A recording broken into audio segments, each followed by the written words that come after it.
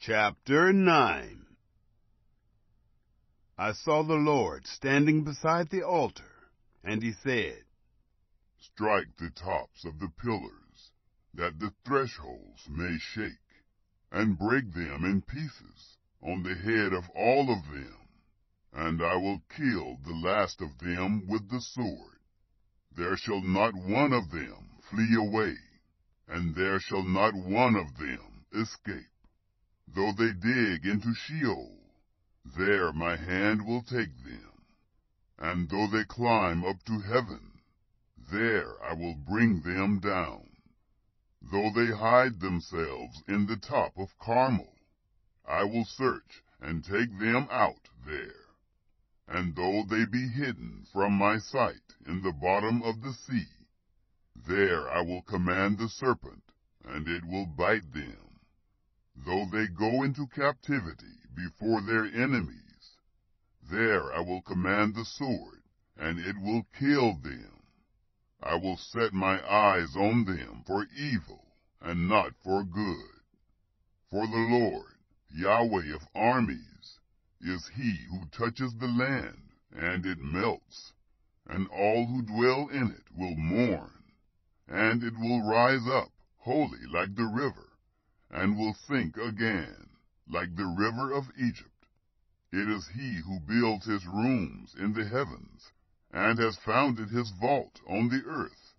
He who calls for the waters of the sea, and pours them out on the surface of the earth. Yahweh is his name. Are you not like the children of the Ethiopians to me, children of Israel, says Yahweh? Haven't I brought up Israel out of the land of Egypt, and the Philistines from Caphtor, and the Syrians from Kir?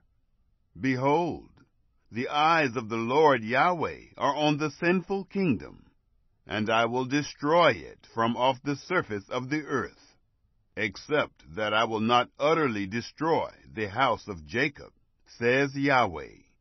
For behold, I will command, and I will sift the house of Israel among all the nations, as grain is sifted in a sieve, yet not the least kernel will fall on the earth.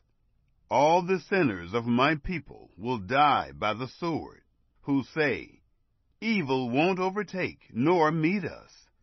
In that day I will raise up the tent of David who is fallen, and close up its breaches and I will raise up its ruins, and I will build it as in the days of old, that they may possess the remnant of Edom, and all the nations who are called by my name, says Yahweh, who does this.